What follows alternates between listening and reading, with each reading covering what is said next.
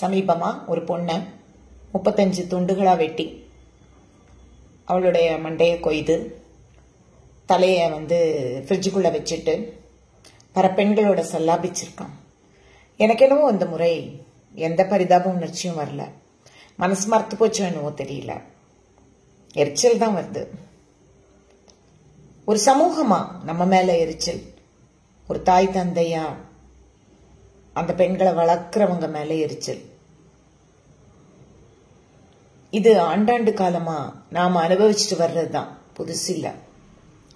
ஒரு போர் அப்படிங்கிறது எவ்வளோ அவமானமானது எவ்வளோ கேவலமானது எவ்வளோ அசிங்கமானதுன்னு நம்ம சொல்லிக் கொடுக்கல. நம்மளுடைய பாடங்கள் பாடப்புத்தகங்கள் குறிப்பாக ஹிஸ்ட்ரி இலக்கியங்கள் அதில் எல்லாமே இந்த மாதிரியான விஷயங்கள் அதாவது ஒரு எக்ஸாம்பிள் சொல்கிறேன் முகமது கோரி எவ்வளோ பேருக்கு தெரியும்? என்ன மாதிரியான ஒரு போர் அது? ஒரு போர்னா அதை தொடர்ந்து எவ்வளோ வலி எவ்வளோ வேதனை எல்லாம் இருக்கும்.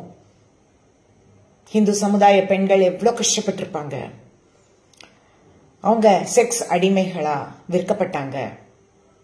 போதை பொருளா போக பொருளா பார்க்கப்பட்டாங்க. கடத்தி போகப்பட்டாங்க. கொண்டு குவிச்சு குவிக்கப்பட்டாங்க. குழந்தைங்க பெண்கள் முன்னாடி வெட்டி அதான் அவங்க தாயோட கழுத்தில் மாலையெல்லாம் போட்டிருக்காங்க. அந்த மாதிரி நிறைய விஷயம் நடந்தது. ஆனால் எதை பற்றியும் நம்ம ஒரு அவேர்னஸ் கிரியேட் பண்ணல. போர் அப்படிங்கிறது ஒரு சின்ன சென்டென்ஸ் நம்மளுக்கு. முகமது கோரி.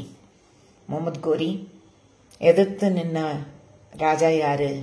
பிருத்விராஜ் சௌஹான் எப்படி பதினாறு முறை ஜெயிச்சவன்? சொந்த மாமனார்னாலேயே காட்டி கொடுக்கப்பட்டு அந்த ராஜா யாரு?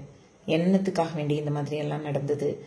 எதுவும் நமக்கு தெரியாது. ஆனால் நமக்கு தெரிஞ்சது நம்ம குழந்தைங்களுக்கு தெரிஞ்சதெல்லாம் சல்மான் கான் ஆமீர் கான் சத்யமேவ ஜெயத்தே நான் ப்ரோக்ராம் பண்ணுறது ஷாருக் கான் சாய்ஃப் அலி கான் இல்லையா? உருப்பிட்டுரும் ரொம்ப. நன்றி.